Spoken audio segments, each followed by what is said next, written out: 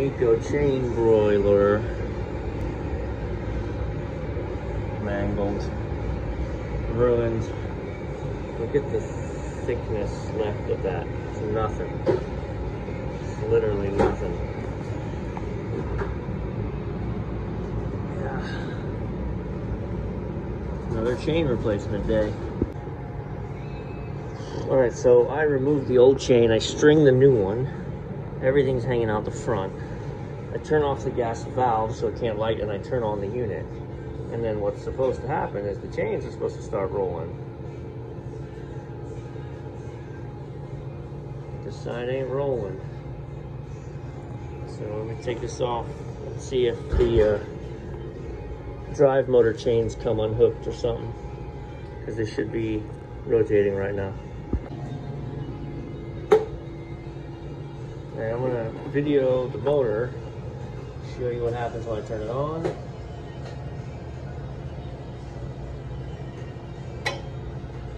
Try for a second. No, it's not. So this motor has been turned off. Uh, well, not off, but they set it for seven minutes, so it turns super slow so that they could use, you can't separate, you can't just turn the right motor and not the left. So they turned this to seven minutes, so it makes a seven minute rotation, so it turns really slow, so it wasn't tearing its chain apart. While this one's running normal three and a half minutes. So, rut row. We'll test, test voltage to this. Uh, I think I have another one of these in the truck. A stock. Lots of Nieco stuff. Oh man. This is not a light duty motor, man. Like, it's light duty in the sense of it's a 24 volt motor, but fiscally this is a heavy hitter. All right, let's see here. Ha ha ha.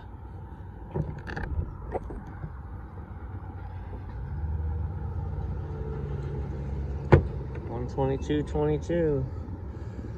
Yeah, so I've got transformers, flame sensors. Uh, this little guy is ridiculous. This is $700. That's the uh, air pump. So igniters, thermostat controls, belt control. So if it turns out to be it's the belt control, we got them covered on that. Let's go plug this in, see if it comes back to life before I get into any labor of doing anything.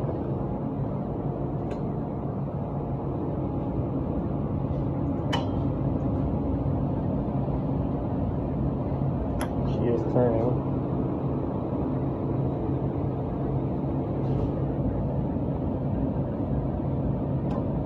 she's turning. The motor's done. Oh, boo.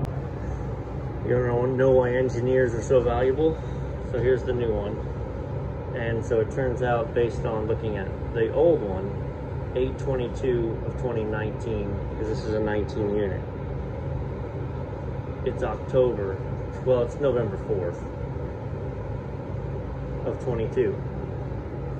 That motor had a three-year warranty. 30 days. 822. Nah, that's not true. 60 days. They got it within 60 days. Within 60 days of the warranty being out, the motor failed. Engineers. Alright, I got the chain attached. Let's see now, fire it up. Bada bing. I've got that lined up properly. Alright, let's set this for 335 like the other side. Put Humpty Dumpty back together, turn the gas on.